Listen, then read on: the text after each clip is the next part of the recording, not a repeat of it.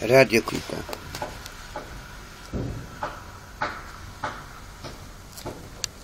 Radio obrotowe, proszę Państwa, radio przemieszczające się w czasie. Czas, przestrzeń, przestrzeń, czyli miejsce, czas, ale czas jest ważny, bo na przykład te różne żydowskie portale, one nie znają, proszę Państwa, czasu.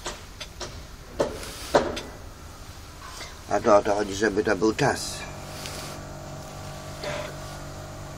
Że tutaj, aby był uwzględniony czas.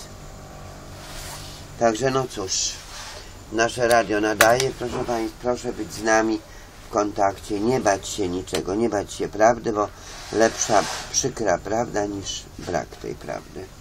A dzisiaj coś o kłamstwie strasznie dużo mówili, bardzo dużo o kłamstwie mówili w radiu, proszę Państwa. Jak to w jakim radiu? Nieważne w jakim radiu. Bądźmy w kontakcie ze sobą i wszyscy dajmy się uduchowić. Nie można się dzielić, że to jest wierzące, to jest niewierzące. Że to radio jest dla wierzących, to radio jest dla niewierzących. Ścierpmy to. Radio jest dla każdego.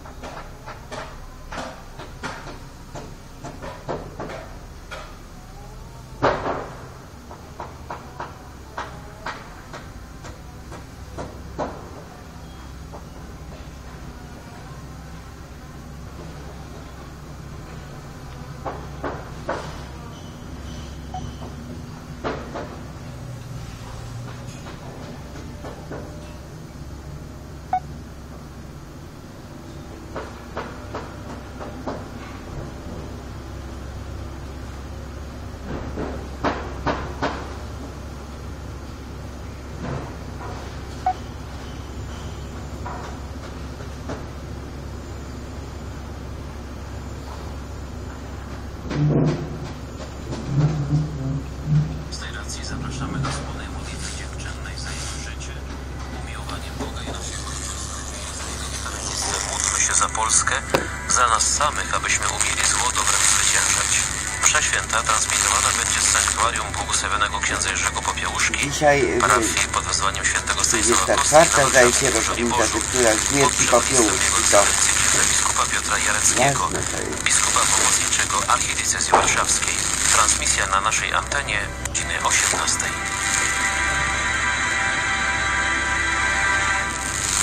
Zatem zapraszamy serdecznie do wspólnej modlitwy o 18. A teraz czas naszego spotkania w rodzinie Radia Maryja. Pozdrawiamy bardzo gorąco wszystkich słuchaczy. Cieszymy się, że jesteście Państwo z nami. Zapraszamy też do współtworzenia tego naszego programu, ale chcemy go zacząć od podziękowań dla ofiarodawców, bo to dzięki Państwu możemy funkcjonować, możemy się rozwijać, możemy również przeprowadzać takie transmisje, która by, takie transmisje jak ta wieczorna, dzisiejsza o godzinie 18. e, To też e, trzeba ludzi, którzy pojadą, którzy te transmisje zrobią, którzy przeprowadzą te wszystkie potrzebne przygotowania.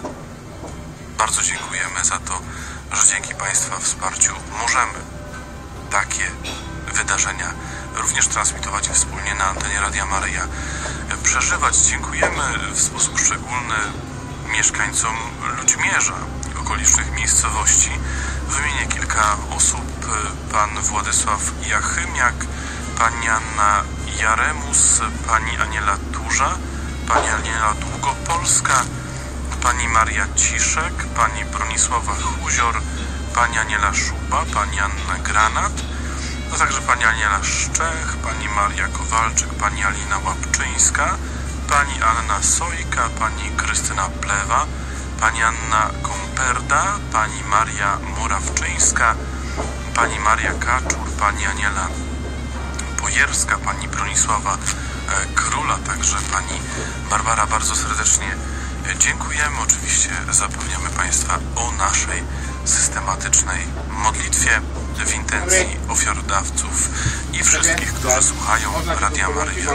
Prosimy o to, by dołączyli do grona tych, którzy pomagają i którzy współtworzą e, te dzieła Orkiestra Koncertowa Wiktoria wraz z solistami. W pieśni ślubujemy księży Jerzy. Włączone.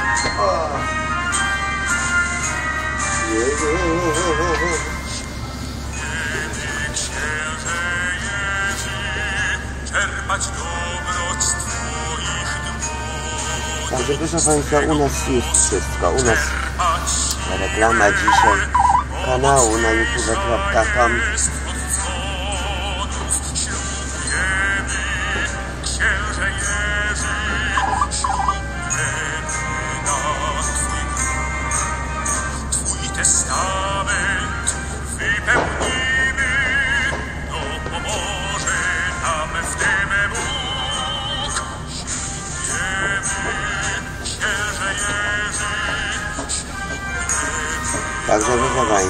takie różne pieśni, takie różne melodie. Idźmy dalej, bo my tu nie będziemy piać w ten sposób, nie będziemy piać.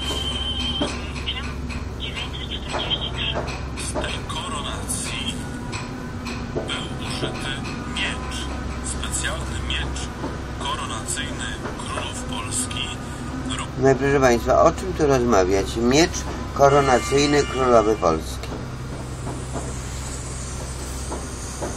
Biblia mówi o, o Słowie Bożym, Biblia mówi o, o Biblii jako o mieczu, a oni miecz koronacyjny. Daj spokój.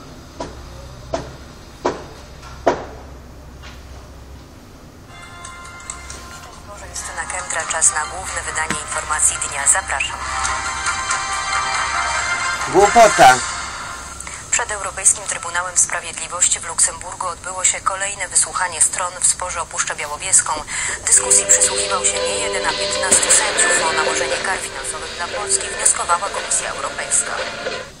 To kolejna odsłona sporu o Puszczę Białowieską. Skandalem zakończyło się ostatnie wysłuchanie stron, w trakcie którego wiceprzewodniczący Europejskiego Trybunału Sprawiedliwości sugerował reprezentującej Komisję Europejską Karolinie Herman, w jaki sposób ukarać Polskę. Dziś sprawą Puszczy Białowieskiej Trybunał zajmował się w 15-osobowym składzie. Komisja Europejska przekonywała, że działania strony polskiej prowadzą do zaniku siedlisk i gatunków. wykazaliśmy, że sprawa jest zupełnie odwrotna, a mianowicie to poprzez presję Komisji Europejskiej na zmianę sposobu zagospodarowania w Puszczy Białowieskiej doprowadzono do zaniku siedlisk gatunków charakterystycznych dla tych siedlisk. Wskazuje minister środowiska profesor Jan Szyszko. W sporze z Komisją Europejską polski rząd konsekwentnie powołuje się na program Natura 2000. Pokazaliśmy naszą stronę jako stronę, która wie na czym polega Natura 2000, na czym polega tragedia Puszczy Białowieskiej, na czym polega niezrozumienie ze strony Komisji Europejskiej. Niezrozumienie, poprzez które dziś Komisja Europejska wnosiła o wniosek tymczasowy w postaci kar finansowych dla Polski, tłumaczy dyrektor Lasów Państwowych dr inżynier Konrad Tomaszewski. Był taki przekaz, że to nagle będą ustalone ad hoc tu i teraz kary pieniężne. E, Odnoszę wrażenie, że komisja sama się zagubiła w swoich wypowiedziach. Tak do końca nie wiadomo o co tam wnioskowała. A wnioskowała także m.in. o doprecyzowanie pojęcia bezpieczeństwa publicznego. W ocenie komisji cięcia sanitarne powinny dotyczyć tylko drzew znajdujących się przy głównych drogach i szlakach turystycznych. Mnie e, zdumiało stwierdzenie Komisji Europejskiej, iż ludzie do lasu wchodzą w Polsce na własną odpowiedzialność i na własne ryzyko, bo to stwierdzenie oznaczało zupełny brak znajomości prawnych. A brak znajomości przepisów jednoznacznie pokazuje, że cała sprawa ma znamiona walki politycznej, dodaje minister Jan Szyszko. konflikt wokół Puszczy Białowieskiej to jest pewnych grup nacisku. Ja bym powiedział, to jest lewicowo-liberalnego nacisku, który posługuje się dowodami. Dowodami, które w ocenie strony polskiej wcale nie potwierdzają zarzutów Komisji Europejskiej. To nie koniec sporu między Komisją Europejską a polskim rządem. Jego kolejną odsłonę zaplanowano na 12 grudnia. Będzie to już nie wysłuchanie stron, a rozprawa przed Europejskim Trybunałem Sprawiedliwości. Dla informacji dnia Szymon Kozupa, Luksemburg. Polska stała się unijnym liderem w walce z ubóstwem. Wynika z danych opublikowanych przez Eurostat. Poziom ubóstwa w naszym kraju spadł o prawie 9%. Tuż za nami znalazły się Łotwa i Rumunia. Dziś Międzynarodowy Dzień Walki z Ubóstwem. Polska radzi sobie z jego zwalczaniem najlepiej w całej Unii Europejskiej. Wynika z danych Eurostatu. Ryzyko ubóstwa lub wykluczenia społecznego spadła u nas z 30,5% do niecałych 22%. To dopiero początek walki ze skalą ubóstwa w Polsce, wskazuje minister Elżbieta Rafalska. Ta jest wciąż wysoka, ocenia. Polska jest na pierwszym miejscu w Unii Europejskiej w walce z ubóstwem. Wcale nie znaczy, że pokonaliśmy ubóstwo. E, Pewna skala tego ubóstwa ciągle jest. Z przywołanych przez szefową resortu rodziny danych wynika, że w 2016 roku w skrajnym ubóstwie żyło prawie 5% Polaków, wobec 7% w 2015 roku. Największy spadek ubóstwa odnotowano w rodzinach wielodzietnych. Nie odnotowano e, spadku ubóstwa w tych gospodarstwach, których nie było e, e, na utrzymaniu.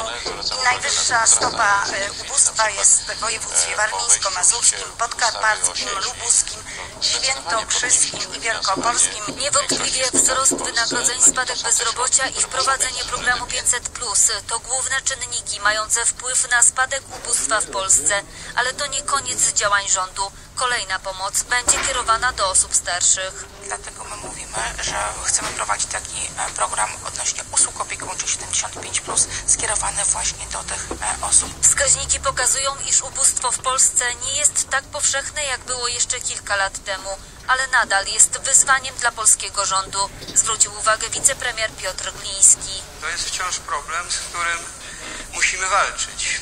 Musimy go opanowywać, musimy go minimalizować. Dziś także odbyła się pierwsza edycja konkursu imienia profesor Elżbiety Tarkowskiej, polskiej socjolog, badaczki problemów ubóstwa.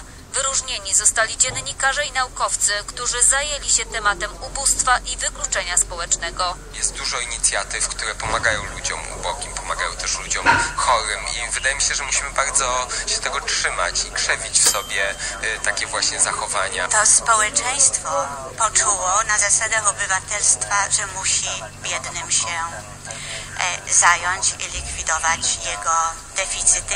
W taki sposób, dzisiaj jest ta filozofia empowermentu, w taki sposób, żeby go aktywizować. O biedzie i ubóstwie przez lata przede wszystkim w kręgach rządowych dyskutowano. Teraz zaczęto sobie z nim radzić, wskazuje ekonomista dr Aleksander Resmer. Ta strefa prosocjalna była przez wiele lat zaniedbywana przez rządzących i dobrze się stało, że wiele nowych instrumentów pojawiło się, które dają możliwość polskim rodzinom e, odbić się nieco od, od dna. Choć ubóstwo w Polsce się zmniejsza, bieda to wciąż problem, z którym mierzą się w szczególności dzieci. W naszym kraju wciąż mieszka około 30% dzieci żyjących w sferach zagrożenia ubóstwem. Zakładowe umowy zbiorowe podnoszą standard życia gospodarczego i społecznego, podkreśla wicepremier Mateusz Morawiecki. Przedstawiciele rządu, Solidarności oraz pracodawców spotkali się dziś na debacie. Układy zbiorowe pracy drogą do społecznej gospodarki rynkowej. Brak układu zbiorowego pracy dotkliwie odczuwają pracownicy handlu. Pracując w europejskich sieciach na terenie Polski mają niższe wynagrodzenia i pozbawieni są wolnych niedziel. Układy zbiorowe pracy to porozumienia zawierane pomiędzy pracodawcą a pracownikami, określające m.in. wzajemne obowiązki prawa, wysokość płac, dodatkowe świadczenia czy tryby rozstrzygania sporów. Dają one możliwość wynegocjowania lepszych dla pracowników warunków pracy niż wynikające z obowiązującego prawa. W Polsce ta forma wciąż jest nierozwinięta, mówi Piotr Duda, przewodniczący NSZZ Solidarność. To układy zbiorowe, zakładowe, ponadzakładowe, branżowe, a także ponadnarodowe, o których też będziemy dzisiaj mówić w panelu, są podstawą tej większej partycypacji pracowniczej.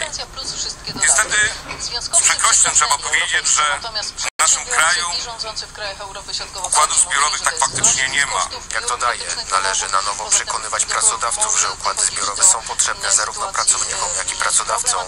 Na zachodzie Europy takie układy to norma, przekonuje Alfred Bujara, przewodniczący sekcji krajowej pracowników handlu NSZZ Solidarność. Musimy zgłaszać e, ustawy i wszystko regulować w ustawie. E, takie rzeczy na zachodzie e, są regulowane w układach ponadzakładowych. Polacy zatrudnieni w tych samych zagranicznych sieciach handlowych zarabiają mniej niż ich koledzy w innych krajach. Dzieje się tak mimo, że wydajność pracy w Polsce jest o wiele wyższa, a czas pracy dłuższy. To skutek braku branżowego układu zbiorowego pracy w handlu. Prelegenci nawiązywali do artykułu 20 Konstytucji Rzeczypospolitej Polskiej, mówiący o społecznej gospodarce rynkowej opartej na dialogu. Tego dialogu jest za mało w polskich przedsiębiorstwach, mówi wicepremier Mateusz Morawiecki. Porozumiewajmy się, bądźmy w dialogu, w trudnym dialogu. To jest też wielkie wyzwanie. Pewnie, że artykuł 20 nie jest taki znowu strasznie żywy. Zgadzam się tu z przewodniczącym Dudą. Układy zbiorowe mogą ożywić społeczną część gospodarki, o co w szczególny sposób zabiega prezydent Andrzej Duda. Zapewniał dziś minister Paweł Mucha, zastępca szefa kancelarii prezydenta. W imieniu pana prezydenta deklaruję pełne wsparcie dla takich działań. Prawa pracowników mogą być indywidualnie negocjowane w konkretnym przedsiębiorstwie, ale także w międzynarodowej korporacji. Wówczas zasady zatrudnienia rozciągnięte zostają poza granice krajów. Wówczas to jednak musi uwzględniać sytuację nie tylko pracowników, ale i firmy, mówi minister energii Krzysztof Tchórzewski. Musi to uregulowanie być uzależnione od sytuacji firmy. Nie da się tego w oderwaniu zrobić. Nie da się układu zbiorowego napisać i powiedzieć tak ma być. Miejscem opracowywania porozumień pracownicy pracodawcy przy udziale przedstawicieli rządu jest w Polsce Rada Dialogu Społecznego. Z wizytą do Polski przybył dziś prezydent Turcji Recep Erdoğan. Głównym tematem rozmów było wstąpienie tego kraju do Unii Europejskiej. Jak zapowiedział prezydent Andrzej Duda, Polska popiera starania Turcji w tej sprawie.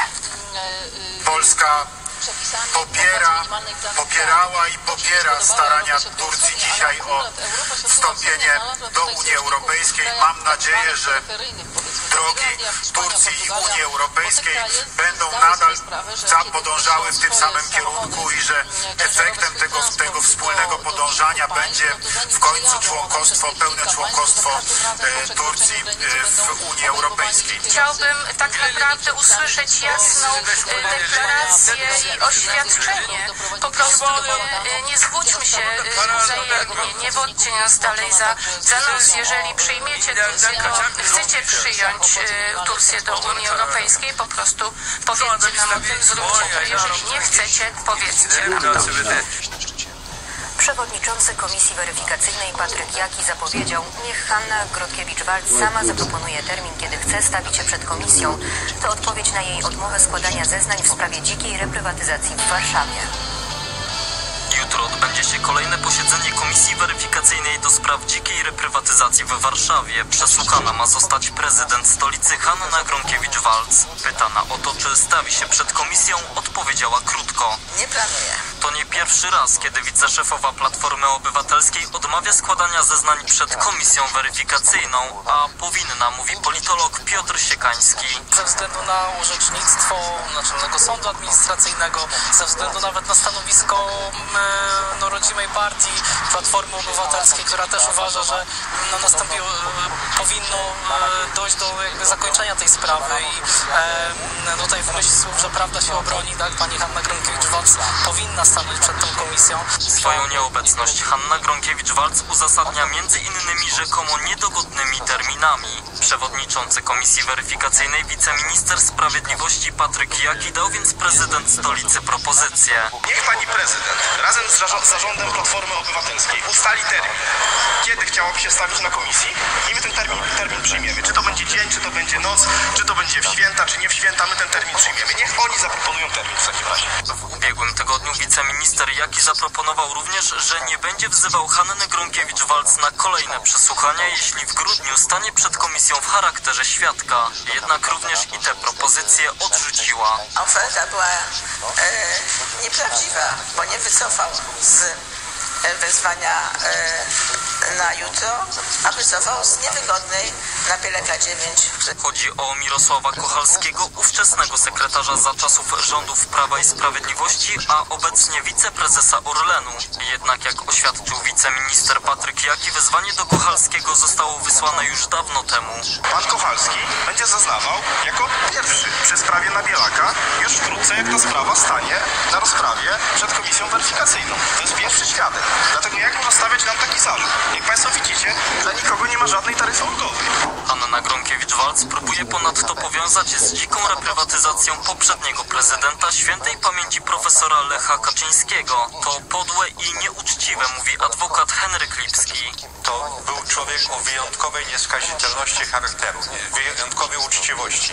I jemu stawiać zarzuty w tej chwili, jak on nie żyje i nie może się bronić, no to jest skandal. Oczywiście, że za poprzedniego prezydenta Warszawy takie decyzje były podejmowane, z tym, że pan profesor Lech Kaczyński wszystkie decyzje tego rodzaju zawsze zostawiał sobie do ostatecznej decyzji i jako prawnik je weryfikował. Zaznacza doktor Michał Skwarzyński. I tak oto za prezydentury w Warszawie Lecha Kaczyńskiego wydano 32 decyzje reprywatyzacyjne, a za prezydentury Hanny Gronkiewicz-Walc 293. Dlatego to właśnie jej zeznania mogą okazać się szczególnie przydatne. Jeśli Hanna Gronkiewicz-Walc nadal nie będzie stawiać się na posiedzeniach komisji weryfikacyjnej, zostaną na nią nałożone kolejne grzywny finansowe. Emerytowany metropolita wrocławski ksiądz kardynał Henryk Gulbinowicz obchodzi dziś 94. urodziny. To wybitny i niezwykle ceniony przez wiernych postać. Ksiądz kardynał Henryk Gulbinowicz to wybitna postać. Urodził się 17 października 1923 roku w Wilnie. Jak sam podkreśla, lata jego młodości spędzone na Wileńszczyźnie ukształtowały go jako człowieka i miały wielki wpływ na jego kapłaństwo i posługę pasterską. A ta zapisała się złotymi zgłoskami nie tylko dla kościoła wrocławskiego, ale też całego Dolnego Śląska. Metropolią wrocławską kierował od 1976 do 2004 roku. Za swoją otwartość i szacunek dla każdego człowieka jest niezwykle ceniony przez wiernych. Nie do przecenienia są także jego zasługi z czasów Solidarności. Ksiądz kardynał odważnie walczył o wolność i prawa człowieka. Z okazji jego urodzin została wydana specjalna książka Starałem się zrozumieć człowieka. Jest ona zbiorem wspomnień opisem ważniejszych wydarzeń z życia duchownego. Poczta Polska wyemitowała też znaczki pocztowe z wizerunkiem księdza kardynała Henryka Gulbinowicza. Ksiądz arcybiskup Sławoj Leszek Głódź będzie dalej pełnił funkcję delegata Konferencji Episkopatu Polski do spraw telewizji Trwam. Tak zdecydowali księża biskupi podczas 377 zebrania plenarnego Konferencji Episkopatu Polski w Lublinie. Metropolita Gdański został jednocześnie członkiem Rady Stałej Episkopatu. Przewodniczącym zespołu biskupów do spraw duszpasterskiej troski o Radio Maryja został zaś ordynariusz diecezji toruńskiej ksiądz arcybiskup ksiądz biskup Andrzej Suski. Poparcia w najbliższej kampanii Położona na północy Syrii Ar-Rakka została całkowicie wyzwolona z rąk tzw. państwa islamskiego. Inaczej jest w irackim Kirkuku. Stąd zaczęła się właśnie ucieczka cywilów. Pod pretekstem walki z dżihadystami trwa tam walka między siłami irackimi a Kurdami. Arabsko-kurdyjski sojusz w Syrii przejął w byłej stolicy samozwańczego islamskiego kalifatu szpital, który służył jako kwatera główna dżihadystów oraz stadion. Stadion był jednym z ostatnich miejsc kontrolowanych przez tzw. państwo islamskie w położonym nad Eufratem mieście. Dzielnice, które były pod kontrolą państwa islamskiego zostały przejęte przez siły kurdyjskie na podstawie umowy z tymi bojownikami, którzy zgodzili się na ich opuszczenie, czyli za wyjątkiem bojowników obcokrajowców, wyjaśnia profesor Maciej Munich z Katolickiego Uniwersytetu Lubelskiego. Wydaje się, że są to głównie osoby e, z Europy, szczególnie z Francji, e, ponieważ siły francuskie specjalne mm, umówiły się, że e, no mówiąc wprost, że nie będą brały jeńców. Nie chcą, aby te, ci e, dżihadyści o francuskim obywatelstwie e, byli w stanie z Rakki wyjechać i e, potem potencjalnie wrócić do Europy. Taka sytuacja dotyczy tylko Rakki jako odosobnionego punktu oporu. Resztę terenów, czyli wschodnie rubieże Syrii i zachodnie Iraku zajmuje jeszcze tzw. państwo islamskie. Walczy tam armia Assada, która stopniowo wybiera ISIS. W Iraku swego miejsca szukają także Kurdowie. Po ataku państwa islamskiego, który, część e, mieszkańców arabskich uciekła, Kurdowie zajęli zajęli te tereny. I z kolei oni prowadzili politykę, nazwijmy to, rekurdyzacji tak, tych terenów. Ale dziś Kurdowie wycofali się bez walki. Iracka armia przejęła wszystkie pola naftowe zarządzane przez państwowy koncern Nord Oil Company w rejonie Kirkuku. Od ostatniej nocy znaleźliśmy 25 ciał żołnierzy zabitych we szmergu. W krewni zabitych gromadzą się, aby zabrać ciała swoich bliskich. W tej chwili Kirkuk jest otoczony od południa, z zachodu i od północy.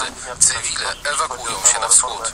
Demonstracyjne obalanie kurdyjskich flag oraz dymisja legalnie wybranego gubernatora pokazuje prawdziwe zamiary Bagdadu. Natychmiastowe i pełne podporządkowanie miasta i spacyfikowanie religijno-etnicznej mozaiki. Stwierdził Ziyad Raouf, pełnomocnik rządu regionalnego Kurdystanu w Polsce. Iracki premier Haidar Jawad al-Abadi zapowiedział, że będzie przejmował kontrolę nad tak zwanymi terytoriami spornymi, czyli terenami zajętymi przez Kurdów, ale nie należącymi formalnie do regionu Kurdystanu.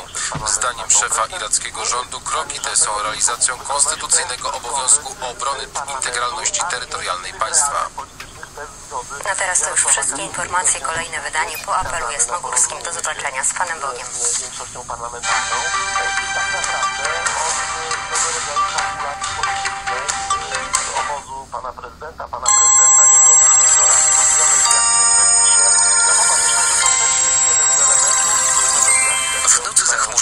z większymi przejaśnieniami na krańcach zachodnich, okresami przelotny deszcz. Wysoko w górach deszcz ze śniegiem i śnieg. Temperatura od 5 do 8 stopni. Na wybrzeżu do 11, a w dolinach górskich od 4 do 6. Wiatr umiarkowany i dość silny. Miejscami silny, porywisty zachodni. Na południu i miejscami w centrum porywy wiatru do 110 km na godzinę. Wysoko w Karpatach do 140. Jutro w północnej połowie kraju zachmurzenie umiarkowane i duże. Początkowo miejscami całkowite. Na pozostałym obszarze bezchmurnie. Jedynie w rejonach występowania mgieł rano lokalnie zachmurzenie całkowite. W całym kraju początkowo miejscami mgły, gdzie niegdzie ograniczające widzialność do 200 metrów. Temperatura od 15-18 stopni na północy, około 20 w centrum do 22-23 stopni na południu. W rejonach podgórskich od 18 do 21 stopni. Wiatr słaby, zmienny, jedynie na północy kraju, początkowo umiarkowany zachodni. Ciśnienie w Warszawie w południe wyniesie 1003 hektopaskale i będzie spadać.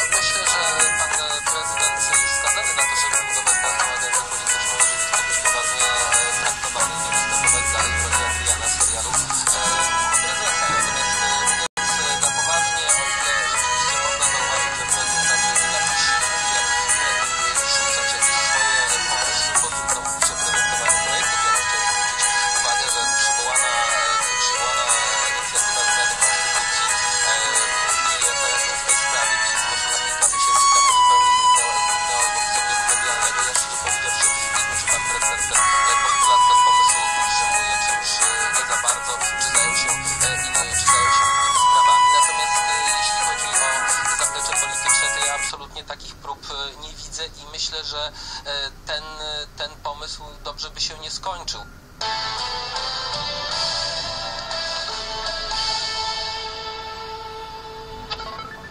Reklama. Jestem mamą i dobrze wiem, że u dziecka nie wolno lekceważyć nawet niewielkiej gorączki. Dlatego kiedy Kasia ma podwyższoną temperaturę, od razu podaję jej lipomal. Lipomal to naturalny i bezpieczny lek, który zwalcza gorączkę, a także pomaga na ból gardła i kaszel. Syrop Lipomal 97 mg 5 ml. Suchy ekstrakt z lipy na płótnie w stanach gorączkowych. Przeciwwskazania na wrażliwość na składniki produktu cukrzyca Aflofarm. Przed użyciem zapewne się stośną ulotki dołączonej do opakowania bądź skonsultuj się z lekarzem lub farmaceutą, gdyż każdy lek niewłaściwie stosowany zagraża Twojemu życiu lub zdrowiu. Marian, a taki twój taki wymarzony tydzień to jaki by był? Wymarzony cały tydzień.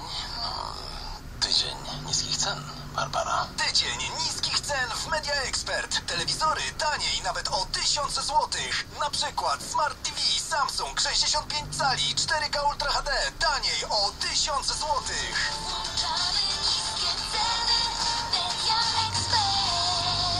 Więcej w sklepach Media Expert i na Media Expert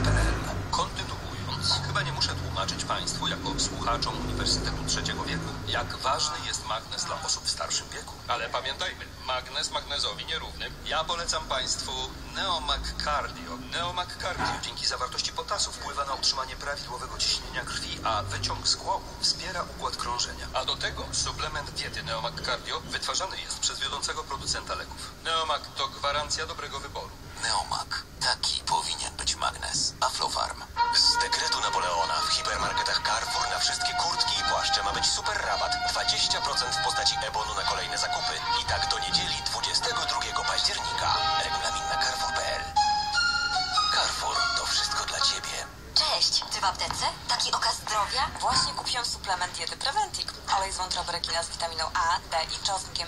Wzmacniam odporność. Super! A dlaczego tylko 60 kapsułek? Bo tu jest dwa razy więcej oleju z wątroby rekina w jednej kapsułce. Jednoskładnikowe produkty często zawierają tylko 250 mg oleju. Czyli Preventic edycja specjalna? To odpowiednik 120 zwykłych kapsułek. Dodatkowo ma bezzapachowy czosnek. Pani magister, to ja też poproszę Preventic. Preventic. Podwójne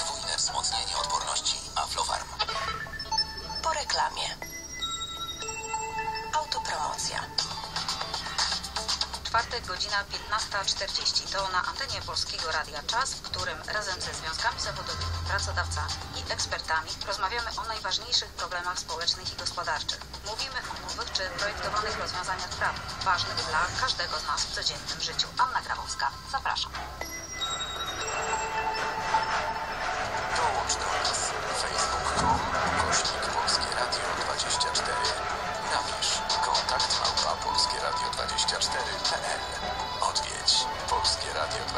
polskieradio24.pl Obserwuj twitter.com kośnik Polskie Radio 24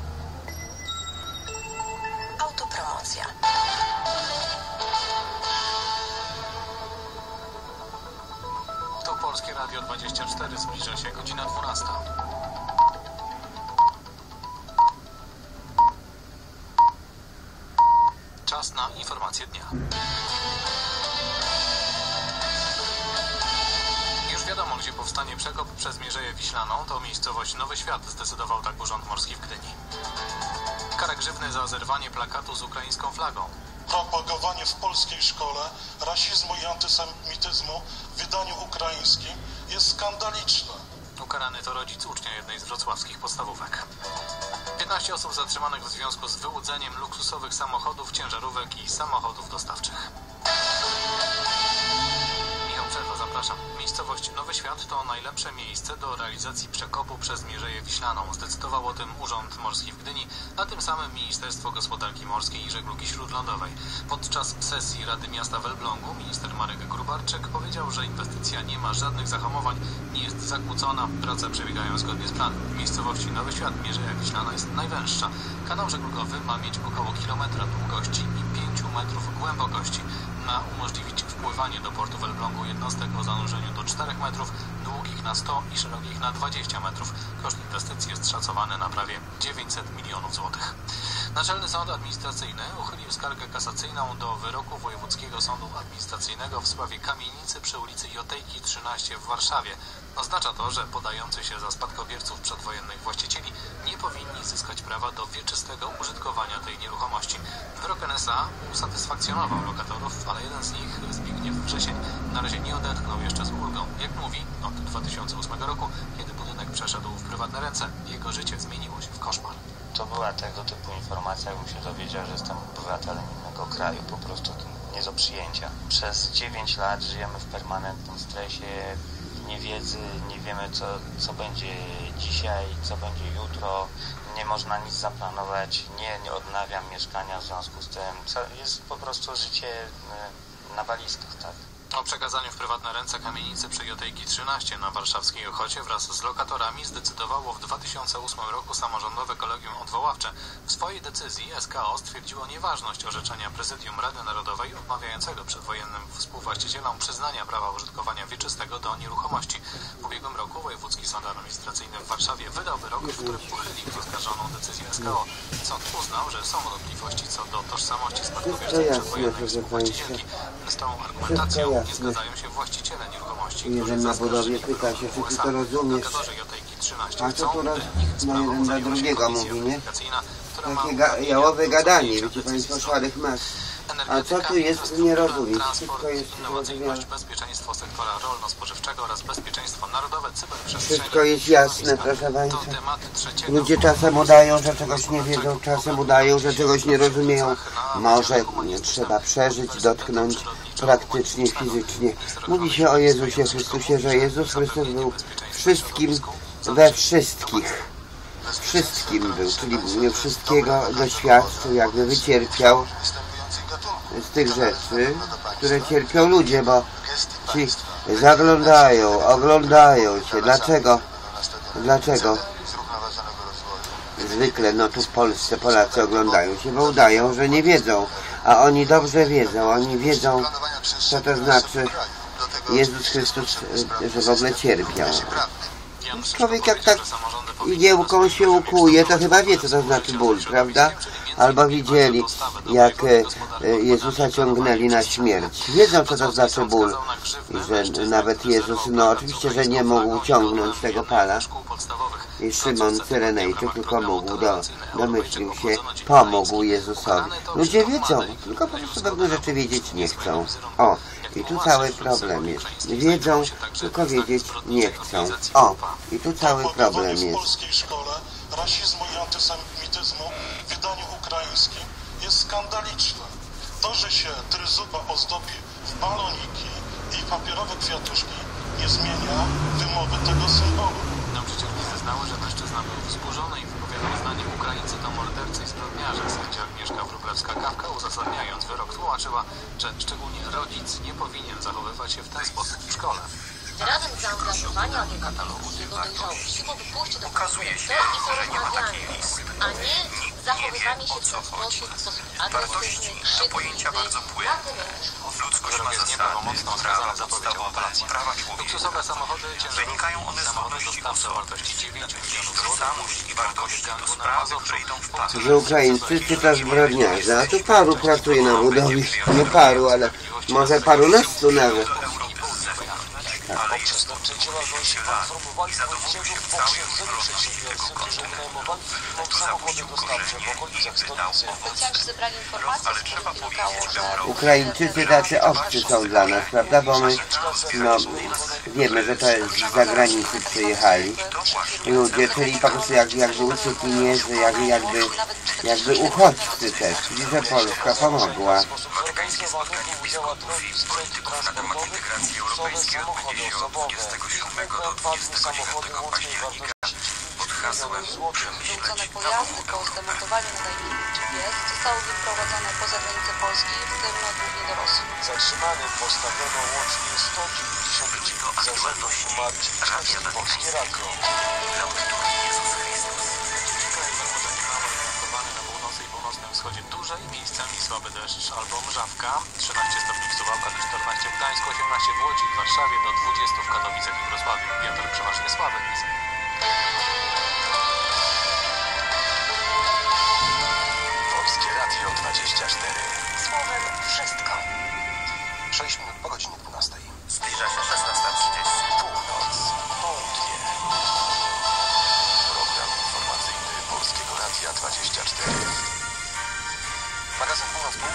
Jezus był wszystkim, czyli że też był, proszę Państwa, no, bezdomnym nawet, bezdomnym, no, głównie Jezus nawet y, mówił o sobie i podkreślał, że lisy mają nory, ptaki mają gniazda, a Syn Człowieczy nie ma, gdzie by głowę mógł skłonić, także Jezus Chrystus był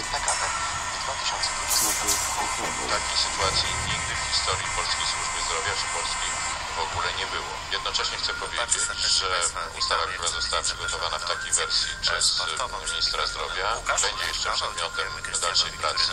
Jestem upoważniony do tego, żeby przypomnieć słowa pani premier, że jesteśmy zdeterminowani do tego, żeby dokonać jeszcze dodatkowej analizy, czy nie jest możliwe skrócenie tego czasu dochodzenia do poziomu 6% PKB.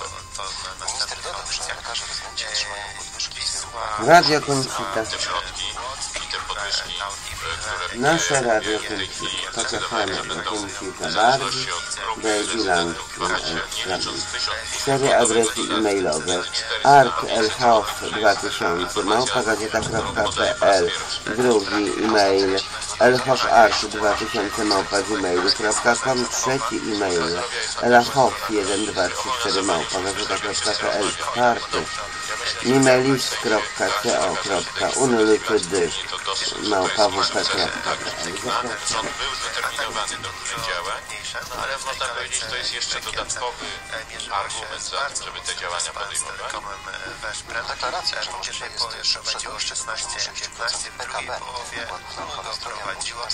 ale ostatecznie e, zespół Węgier zdołał zremisować i skończyło się 32-32, czyli drugi No i po tym spotkaniu wiemy, że Viva ma w dorobku punktowym 4 oczka.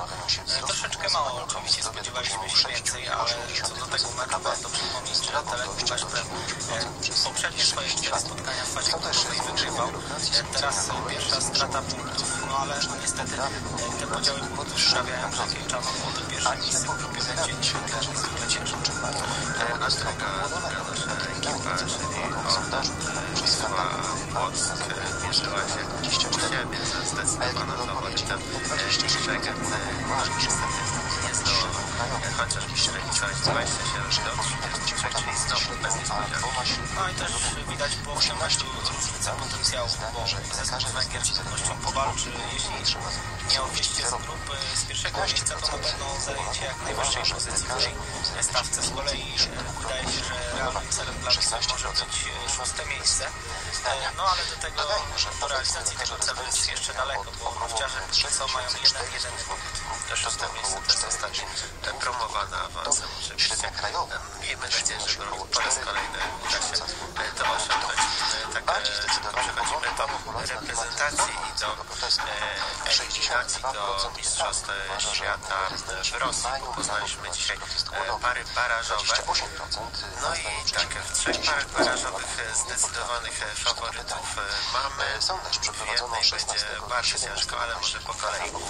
Irlandia zagra, Irlandia Północna zagra ze Szwajcarią, Chorwacja z Grecją, Dania z Irlandią, a Szwecja z Włochami. No można powiedzieć, że Szwecja i Włochy grały w takich grupach śmierci eliminacyjnych, szczególnie Włochy mierzyły się z Hiszpanią, Szwecja grała z Francją i z Holandią, no i teraz też trafiły najgorzej jak to.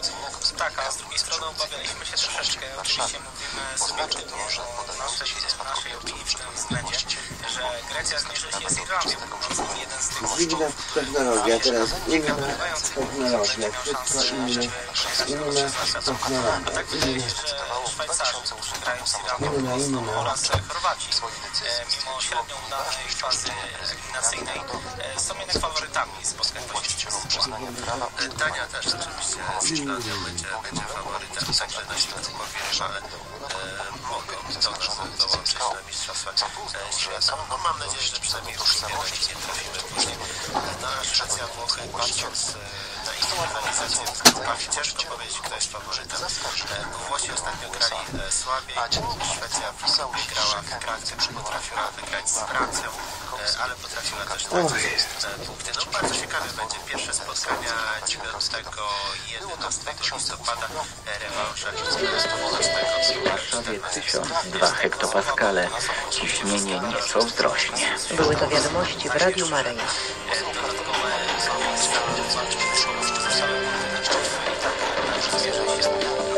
Samorząd a opieka zdrowotna to temat dzisiejszych rozmów niedokończonych. Naszymi gośćmi będą pani Agata Wojtyszek, wojewoda świętokrzyski i doktor nauk medycznych Grzegorz Pitas. Początek spotkania na antenie telewizji Trwam o godzinie 18.15. W Radiu Maryja o 21.30. 12 minut po godzinie 12 zapraszamy Państwa na spotkania z Biblią.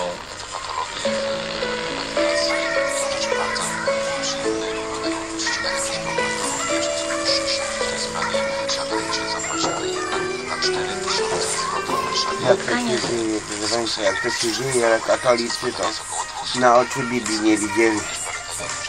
Chyba, że jak oni się tak dzielą, to dla wybranych. Tylko e, ze względu na wybranych, proszę Państwa.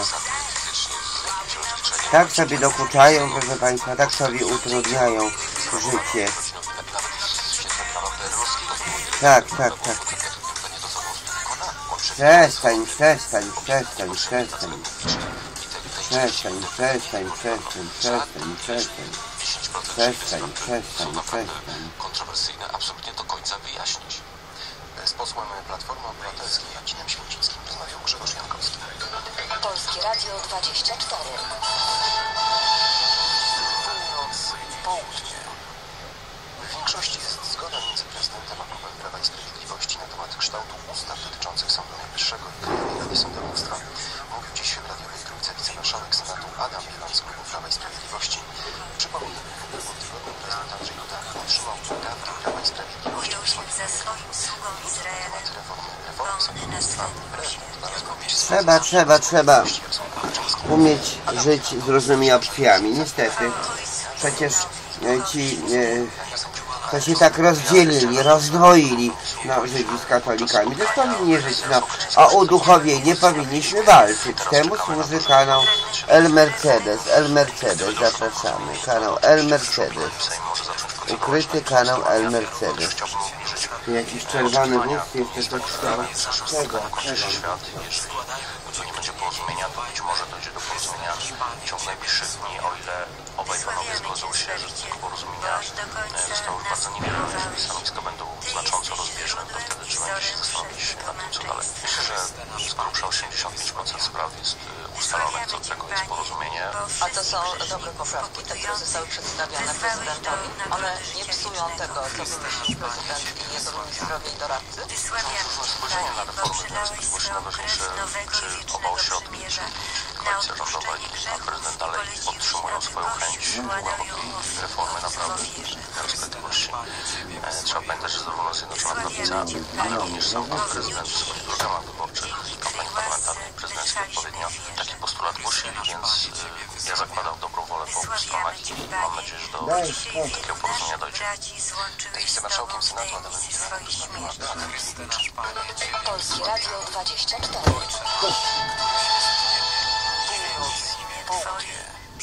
Prawo i Sprawiedliwość podczas zmian ordynacją wyborczą przed wyborami samorządowymi. Zmiany mogą dotyczyć Polskim Radiu Katowice. PiS Wojciech Szymon. Źle funkcjonujący prezydent jest bardzo trudny do odwołania. I tutaj powinniśmy się zastanowić nad tym, czy te wybory powszechne, czy wybory dokonywane przez Radę Miejską i potem możliwość odwo- odwołania kwalifikowaną większością głosów prezydenta przez Radę Miejską, czy nie wrócić do, do pomysłu, dlatego że część włodarzy wykorzystuje tą swoją bardzo dużą władzę w sposób niewłaściwy. A jeśli dojdzie do zmiany ordynacji, to zostanie wprowadzona kadencyjność włodarzy miast, dodał poseł Szarek. Ta kadencyjność, ona powinna być. Tworzą się układy najprzeróżniejsze, które powodują, że prezydent nie może być zmieniony. Uważam, że zmiana po 8-12 latach, zmiana na stanowisku prezydenta, który ma bardzo duże uprawnienia, jest ze wszech miar pożyteczna. A wybory samorządowe odbędą się w listopadzie przyszłego roku. Polskie Radio 24. Północ, południe. A już teraz e, gospodarka. W 2017 roku przez 54% z 2,7% roku ubiegłego. Stało się tak dzięki konsumpcji prywatnej wspartej dobrą sytuacją na rynku pracy i programem Rodzina 500+. E, To wyniki najnowszego raportu Banku Światowego. Jak dodano w tym raporcie, w 2018 roku gospodarka może zwolnić do 3,6%. Jak zaznaczono, z osłabienia wyborczych oraz trudności firm w do pracowników. W maju bank światowy przewidywał, że wzrost PKB w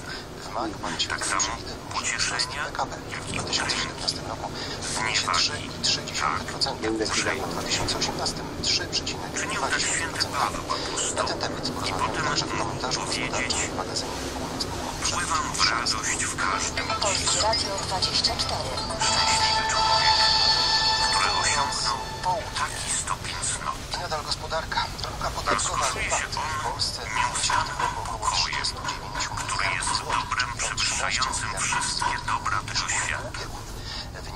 znaczy cały świat, mówił święty Franciszek Salezy w porównaniu z pokojem serca. To. Jak wyjaśnił bowiem znaczą wszystkie bogactwa i honory tego świata dla kogoś, kto jest nieustannie gnębiony niepokojem i nie doświadcza pokoju serca. Aby więc trwać w nieustannym Jezusem Chrystusem. Polskie Radio 24. Nie lękając się nigdy przeciwności, które nas Urząd Morski Gdyni, a tym samym Ministerstwo Gospodarki niebo w trzęsieniu ziemi. lokalizację w miejscowości Nowy Świat jako Nie mieszka do w sercach pełnych niepokoju. Poinformował, Podczas nauk, których w tej materii udziela nam wielki nauczyciel i przykład na łagodności, święty Franciszek długości, Salezy. 5 metrów głębokości. Nie ulegajcie nigdy gniewowi i pod żadnym pretekstem nie dajcie mu dostępu do siebie, bo jeżeli choć raz dla was wystąpi, 880 milionów złotych. to już potem Polskie Radio 24. ani odrzucić kiedy chce, ani nawet. Za godzinę w Krakowie zostanie oficjalnie otwarte Centrum są Eksperycji środki NATO. W uroczystości wezmą udział szefowie resortów obrony Polski, Słowacji, Rumunii i Węgier. zajmując czymś innym umysł i nic nie mówiąc na ten temat. Misją natowskiego Centrum Kontrwywiadowczego będzie przede wszystkim zwiększenie zdolności Sojuszu Północnoatlantyckiego do przeciwdziałania aktywności obcych służb wywiadowczych o różnym charakterze. Główne zadania Centrum to wdrażanie nowych pojęć i doktryn, które potem pozwolą wypracować nowe rozwiązania z zakresu działań kontrwywiadowczych Sojuszu. W krakowskim centrum będą też prowadzone specjalistyczne kursy szkolenia dla adeptów, m.in. z zakresu zwalczania cyberzagrożeń. Ustalenie Polskiego Centrum w Polsce to naszego kraju i Słowacji. Wsparcie również Węgry i bardzo dużo, proszę Państwa, zła wszędzie. Kościoły też muszą panować nad chciwością, nad pazernością, nad wielu, wielu, wielu różnymi rzeczami. Ale e, pomimo tych błędów, pomimo tych grzechów, każdy z każdym musi umieć współpracować, musi umieć współżyć, nie wypominając, proszę Państwa. Kryzys migracyjny i przyszłość Unii Europejskiej. Tematy rozpoczynającego się dziś po południu szczytu Rady Europejskiej. Szczytu i projektu wniosków nie wynika, by był on problematyczny i kontrowersyjny. Choć oczywiście podczas kolacji europejscy liderzy mogą poruszyć dowolny temat. Zanim jednak do niej zasiądą, podczas sesji roboczej mają rozmawiać m.in. o kryzysie migracyjnym, ale już nie o przymusowym podziale uchodźców, przeciwko któremu protestują kraje naszego regionu. Kwestia przymusowej relokacji. Tutaj nie widzę jakiejś specjalnej przyszłości dla tego projektu. Mówił szef Rady Europejskiej Donald Tusk. Teraz unijni przywódcy mają skoncentrować się na wymiarze zewnętrznym migracji. Polska uważa, że porozumienie z Turcją w tej sprawie jest dobrym przykładem dla współpracy Unii z innymi krajami. Tak mówił wiceminister spraw zagranicznych Konrad Szymański. Mielibyśmy na pewno e, jedno napięcie polityczne w Unii mniej, co jest oczywiście polską intencją. Podpisując porozumienie z Turcją, Unia zgodziła się na przekazanie prawie 6 miliardów euro i zaoferowała bliższą współpracę w zamian Nie za tak zamknięcie to granic przez internet ten. Beata Kłamecka, Polskie Radio, Bruksela. Europoseł Ryszard Czarnecki podczas szczytu jest szansa na konstruktywny dialog między premierem Beatą a kanclerz Angelą Merkel. W programie pierwszym Polskiego Radia europoseł podkreślał, że jeśli Francja poważnie traktują przyszłą przeszłość wspólnoty, muszą rozpocząć dialog z krajami tak zwanych. W tym momencie tego projektu nie da się uratować bez naszego regionu Europy i bez Polski, która jest liderem tego regionu. W związku z tym ten pragmatyzm kanclerz Merkel powinien ją kierować w kierunku porozumienia, uwaga, między liderem Są Niemcy, a liderem nowej Unii, jakim jest e, Polska, nowej Unii, jakim jest tych krajów, które e, do Unii weszły. A temat szczytu powróci w naszym magazynie już za kilkanaście minut. Polskie Radio 24. Północ, południe. A teraz nasi południowi sąsiedzi e, Czesi na dzień przed rozpoczęciem grudniowych wyborów parlamentarnych w tym kraju sondaże wskazują na zwycięstwo partii ANO, miliardera Andrija Babisza, Według ostatniego badania ośrodka Median, ANO, czyli Akcja Niezadowolonych Obywateli, może zdobyć 25% głosów. Jej wyborcy liczą, że Andrzej Babisz, doświadczony biznesmen i lider, będzie też sprawnie rządził krajem. Dzięki to on pewnie zarządza partią, jaką będzie się Na drugim miejscu jest socjaldemokracja, która może liczyć na 12,5% głosów. Na trzecim komuniści, a Tusek i skrajnie prawicowa SPD bronią Kamury, która od kilku tygodni gnieźnie sondaże. Okamura jest... Okamura jest świetny. Więcej migrantów, tak jak my chcemy i więcej euro, czeskie pieniądze są lepsze. Do parlamentu według ośrodka median mają szansę wejść jeszcze cztery inne ugrupowania, w tym partia Piratów, której przedstawiciele zadecydowali wybrać posłów. Magdalena Skajewska, Polskie Radio, Praga. Polskie Radio 24.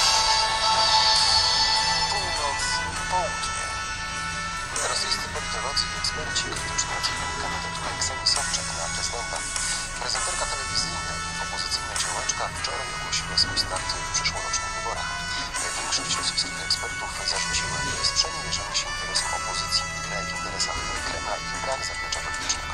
Politolog Grigori Gołosow w rozmowie z Nową Gazetą nazwał decyzję Ksenii Sobczak polityczną farsą. W jego opinii rolą prezenterki w nadchodzących wyborach będzie pozbawienie konkurentów Władimira Putina części głosów. Także analityk Rościsław Kurowski wyraził sugestię, że kandydatura Ksenii Sobczak to pomysł kremlowskich ekspertów od wyborów. Z kolei krymski bloger Aleksandr Gorny pyta publicznie, jakie jest stanowisko Ksenii Sobczak w sprawie aneksji Półwyspu. Wprost też zarzuca jej sprzeniewierzenie się interesom opozycji. W jego ocenie ogłaszając start w wyborach prezydenckich Ksenia Sobczak ostatecznie pogrzebała szansę Aleksieja Nawalnego na walkę o dopuszczenie do wyborów. Nie można było chociaż poczekać, aż go wypuszczą, dodaje Kornej, przypominając, że lider opozycji otrzymuje wyrok 20 dni aresztu za wzywanie do nielegalnych demonstracji. Moskwa, Maciej Jastrzębski, Polskie Radio. A dodajmy jeszcze, że Ksenia Sobczak jest córką zmarłego Anatolija Sobczaka, znanego polityka byłego mera Sankt Petersburga. A wybory prezydenckie w Rosji odbędą się w marcu przyszłego roku. Na razie swój start powinno ogłosił jeszcze urzędujący prezydent Władimir Putin. Polskie Radio 24. Północ, południe. Szef polskiej dyplomacji jest dziś w Gruzji, w stolicy tego kraju Tbilisi. Spotyka się z władzami. Wizyta jest częścią podróży ministra na Kaukaz. Radio Maryja, katolicyzm w swoim domu. Rozważamy wspólnie tajemnicę wcielenia wierząc ku Tobie, dziewico z Nazaretu. Nasze różne spojrzenia przodu nigdy nie przegramy naszego życia. polskiemu prezydentowi. Szef polskiej dyplomacji chce w czasie podróży na Kaukaz przypomnieć o znaczeniu projektu zbliżania byłych republik radzieckich. Projekt ma 10 lat, ale po na Ukrainę część jego uczestników z powrotem zmniejszyła stopień relacji z Unią na Panią Pański zwiastował Marii. Polskie Radio 24. Zdrowaś Maryjo, łaski pełna, Pan z Tobą, błogosławionaś Ty między niewiastami i na błogosławiony owoc żywota Twojego Jezus. Święta Maryjo, Matko Boża, święta nami Szefowa resortu rodziny, edukacji i społecznej rozpoczyna dziś Oto jest urzędnica Pańska. Minister Elżbieta Rafalska odwiedzi polskie stoisko na Międzynarodowych Targach Owoców i Warzyw Fruit Attraction w Madrycie. Polska po raz piąty bierze udział w tej imprezie. Targi to przede wszystkim okazja do promocji polskich owoców i warzyw. Już po raz czwarty ambasada oraz Wydział Promocji Handlu i Inwestycji w Madrycie organizują Festiwal Polskiego Jabłka. W targach bierze udział dziewięć polskich grup producenckich, a dwie z nich zrzeszające rodzimych eksporterów otrzymają specjalne wyróżnienia. W sumie w międzynarodowych targach bierze udział półtora tysiąca wystawców z 30 państw. W planie minister Elżbiety Rafalskiej jest też bilateralne spotkanie z Fatimą Panies, hiszpańską minister zatrudnienia i zabezpieczenia społecznego. Szefowe resortów przedyskutują m.in. kwestie polityki rodzinnej i zatrudnienia oraz projektu dyrektywy o godzeniu życia zawodowego z rodzinnym. Tematem rozmowy będzie też walka z ubóstwem i polityka senioralna. Karol Darmoros, Polskie Radio. Polskie Radio 24. Chrystusa, Syna Twego poznali. Przez mękę Jego i krzyż do chwały zmartwychwstania Wracamy do kraju. doprowadzeni. 33 lat Przez Chrystusa, 11 Pana naszego. Chwała Ojcu Został i Duchowi bestialsko Świętemu. zamordowany przez bezpieczny ksiądz Jerzy Popłuszny. Miał 37 lat. Chwała za Ojcu i Synowi i Duchowi Świętemu. Stanisława Kostka w Warszawie gromadziły tysiące ludzi. W kominikach mówił o Chwała Ojcu i a Synowi i Duchowi Świętemu. przemocy. Krytykował nadużycia komunistycznej władzy. W jednej z homilii Módlmy się. podczas mszy za Wieczny odpoczynek wraz zmarłym że dać Panie. służą komunistycznemu systemowi, ponieważ jego Niech odpoczywają w pokoju wiecznym. Bogu i człowiekowi. Co do mnie, nigdy bym nikogo nie miałem nie dam Zapłać Panie tak samo do komunizmu. Może jedynie litość dla tych, którzy bezkrytycznie służą ideologii, która już w swoich założeniach ma na celu walkę z Bogiem, a w praktyce z godnością człowieka. Byłem z Państwem od godziny 15. Podczas ostatniego nabożeństwa, którego Dziękuję proboszcz ksiądz Krystianowi za współpracę. pamiętać, z Państwem na pewno do końca programu, realizując. Bóg zapłać Chrześcijaninowi nie może wystarczyć tylko samo potępienie zła, kłamstwa, tchórzostwa, zniewalania, nienawiści, przemocy, ale sam musi być prawdziwym świadkiem, rzecznikiem i obrońcą sprawiedliwości, dobra, prawdy, wolności i miłości. O te wartości musi upominać się odważnie dla siebie i dla innych.